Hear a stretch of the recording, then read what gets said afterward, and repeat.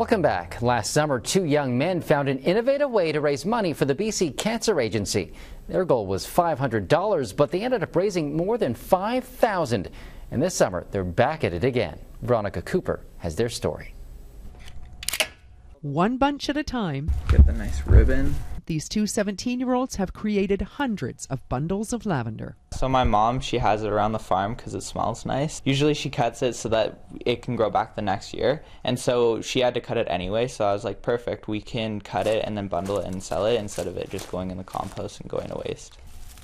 But they're not selling it for profit. Thanks to their vision, all this lavender is going to a very good cause. My mom was actually diagnosed with cancer about a year and a half ago. So we thought it'd be great to give back and help the BC Cancer Agency in some way. It just means more than I can even say. I can't tell you how much it means. It's very touching. And the fact that they're um, concerned about not only me, but the community of people that have cancer and they want to support those people, it's, um, it's incredible. It's truly incredible. Would you like to buy some lavender? It was last summer that the two dear friends took on this fundraising project. Our goal initially was $500, and we got $500 in the first week.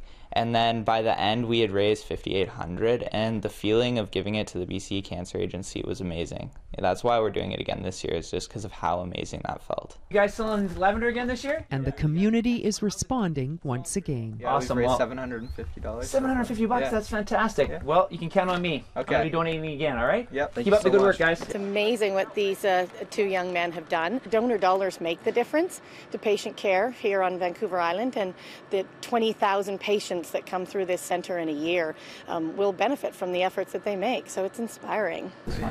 Yeah.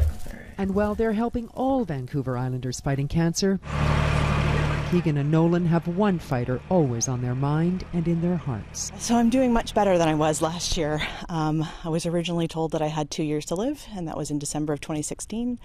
Um, is looking much more like it'll be four years now.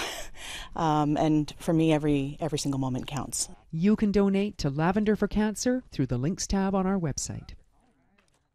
Vital People is brought to you in part by the Victoria Foundation, connecting people who care with causes that matter.